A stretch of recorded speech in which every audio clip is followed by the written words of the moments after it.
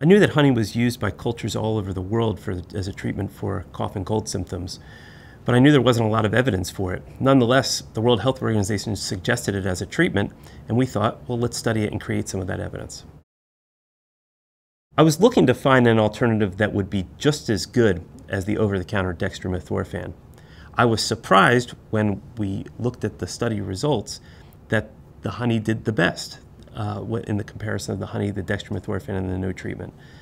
So I was really happy to be able to provide an alternative for my patients and children around the country.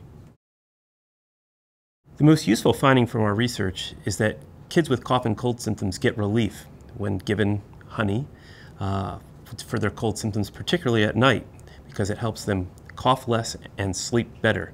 And as a result of that, their parents sleep better. One of the great things about doing research on a common condition like cough and colds is I can share it with everybody, my family, my friends, colleagues around the country, and it's been very rewarding to hear how well honey has worked as a cough suppressant for children all around the world. Honey can be used in children ages one year and up, but should never be given to children under age one because of the risk of infantile botulism, a rare condition, but something that needs to be avoided.